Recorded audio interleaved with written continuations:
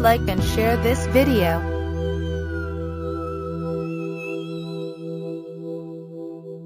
Please subscribe our channel.